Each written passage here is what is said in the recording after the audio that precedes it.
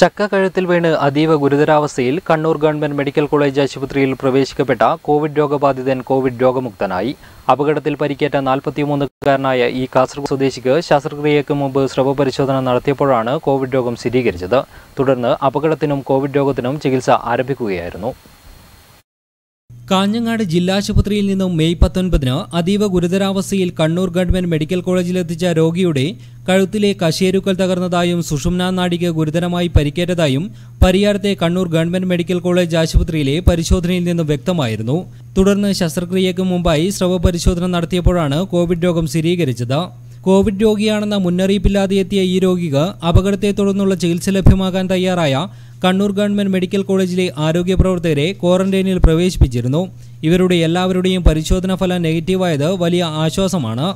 ഇപ്പോൾ അപകടത്തിൽ പരിക്കേറ്റ് ചികിത്സയിലായിരുന്ന കോവിഡ് രോഗിയുടെ തുടർച്ചയായ രണ്ട് പരിശോധനാ ഫലങ്ങളും നെഗറ്റീവാവുകയും ചെയ്തു. കോവിഡ് രോഗമുക്തനായതോടെ അദ്ദേഹത്തെ കോവിഡ് ഐസൊലേഷൻ ഐസിയുവിൽ നിന്നും ന്യൂറോ സർജറി ഐസിയുയിലേക്ക് മാറ്റി. News bureau Pilathara.